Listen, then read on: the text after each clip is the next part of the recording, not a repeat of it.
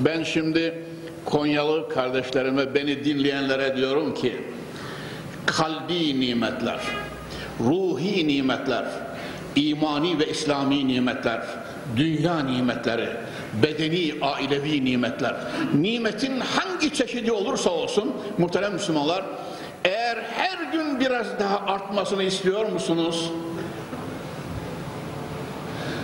Estaizu billah.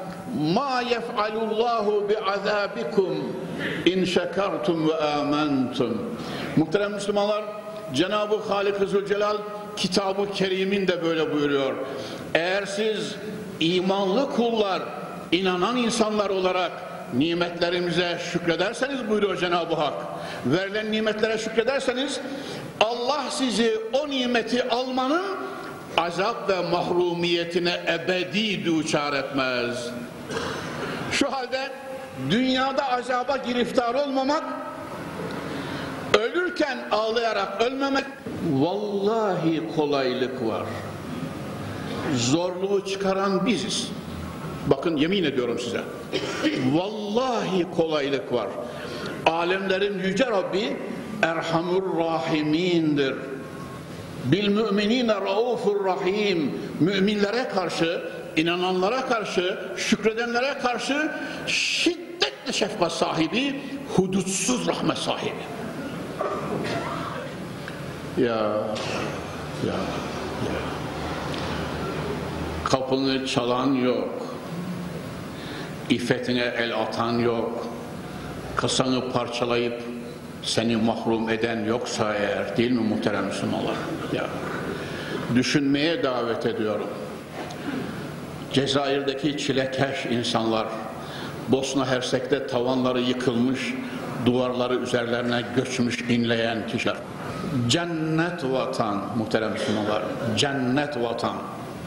Dört mevsimin icra edildiği, baharı ayrı bir güzellik, güzün de, güzün de başka bir renk, kışın da başka bir ahenk ve sohbet, yazında başka bir sıcaklık olan cennet vatan, nimetleri taşarken, coşarken, Mevla-i Müteal bu nimetlerin tamamı, bu aylar ve güneşler hepsi size musakkardır.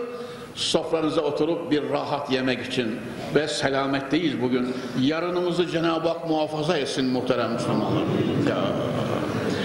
Heme ezbehritü sergeçtevu ferman berdar heme ezbehritü sergeçtevu ferman berdar şartı insaf ne bahşetti tü ferman ne beri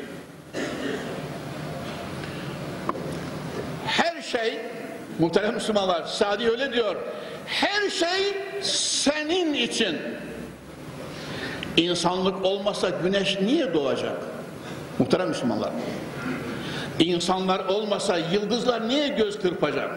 İnsanlar olmasa ay geceleri niye aydınlatacak? Allah'ınızın aşkına diyorum. İnsanlar olmasaydı rüzgarlar niye esecek, bulutlar niye şarıl şarıl rahmet dökecekti? Her şey insanoğlu için. Öyle olunca şartı insaf ne bahşet ki ferman ne veri. Koca hakim öyle diyor. Şartı insaf ne bahşet ki tüferman ne beri. Bu kadar nimeti meczul Allah'ına karşı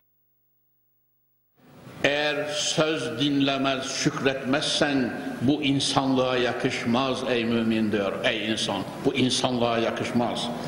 Hani aramızda nankör insan veririz muhterem Müslümanlar. Bir kara kahvenin ecdat sözü bu. Ecdat sözü bu. Bir kara kahvenin 40 yıl hatırı var. Karda kışta sokakta kalsan kapıdan bir arkadaşın çıkıp da gel evladım şu sobanın başında otur ısın hava açılınca gidersin demiş olsa ömür boyu unutamazsın o iyiliği değil mi? Çünkü hayatını kurtarmış oluyor. Bir bunu düşün, bir kara kahvenin hatırını düşün, bir de şu şeref ve şahsiyeti sana verip, Cibril'i indiren, Kur'an'ı gönderen, Hazreti Muhammed'i sana rehber kılan, aile saadeti veren, sıhhat ve afiyetle yüzünü güldüren, elinden tutan Mevla'nın nimetlerini düşün. Mümin kardeşim, öyle olunca Öyle olunca şartı insaf ne bahşetti tüferman ne beri insaf şartı değildir ki Rabbin emirlerini duymayasın ve ona karşı isyan edesin, Mevlana karşı gelesin ve nimetlerine şükretmeyesin.